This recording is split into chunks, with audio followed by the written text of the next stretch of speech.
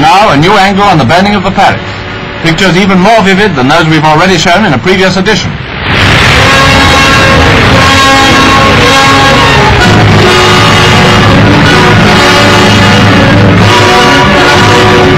Crowds watching on the quay at Havre see the dramatic dash to safety by a fireman, and one of the last men aboard the liner is swung ashore by the crane.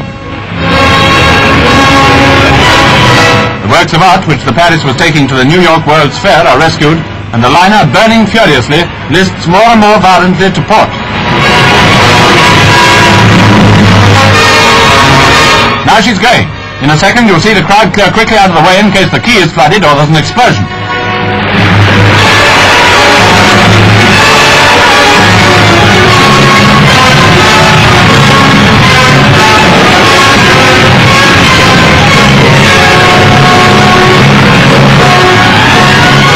That's what you might call a picture.